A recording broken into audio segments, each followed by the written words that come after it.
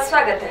देखते हैं आज की खबरें विस्तार से। राधेश्याम मुवैल धार ज़िले के मनावर में आगामी विधानसभा चुनाव में बन सकते हैं कांग्रेस विधायक के उम्मीदवार। निकल रही है रैली। जनता के अधिकारियों के लिए लड़ रहे हैं पंद्रह सालों से। आने वाली विधानसभा को देखते हुए भावी उम्मीदवार अभी से अपने अपने प्रचार में लग गए हैं। हाल ही में नवनियुक्त धार जिला युवा कांग्रेस अध्यक्ष एवं राष्ट्रीय समन्वयक श्री राधेश्याम मुवैल गाँव गाँव अपना स्वागत करवाकर अपने प्रचार में लग गए हैं। पंद्रह साल से मनावर विधानसभा में सक्रिय है और आने वाले चुनाव में प्रबल दावेदार है।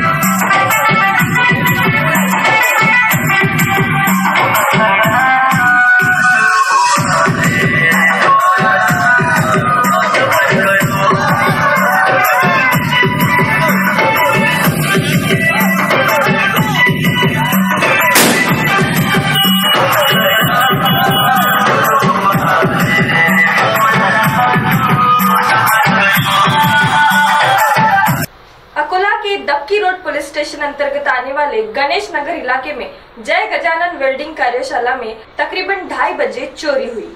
लुटेरों ने कार्यशाला के पीछे के रास्ते से घुसकर वेल्डिंग वर्कशॉप के लोहे के पाइप और वेल्डिंग मशीनों को चुरा कर ले गए। उन चोरों ने लगभग चालीस हज़ार का माल लूटकर फरार हुए। ज़िले में बुधवार रात से जोरदार बारिश की शुरुआत हो चुकी है। इसीलिए चिंता में डूबे हुए किसान अब खुश नज़र आ रहे हैं। ज़िले के सात तालुका में से पाँच तालुका में भारी बारिश है। और 15 अगस्त के दिन कल इन किसानों के लिए सही मायने में आज़ादी का शुभ दिन रहा। खबरों में आज के लिए इतना ही। एमएनएस न्यूज़ लाइव देखने के लिए एम हिंदी प्ले स्टोर ऐसी आज ही डाउनलोड कीजिए। तब तक के लिए धन्यवाद।